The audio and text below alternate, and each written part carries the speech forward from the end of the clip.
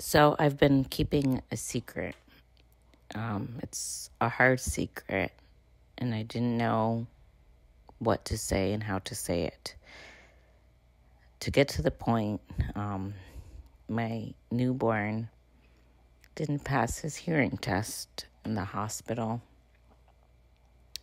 um, with his left ear, and it was something scary for me because I haven't really dealt with hearing loss with my children yet.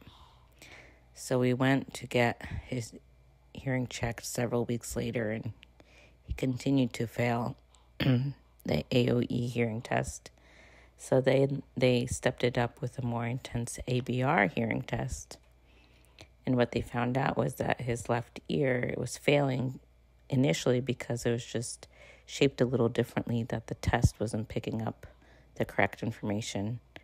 So the more intense ABR test uh, did show that he passed the hearing test and all is good. So we're happy now.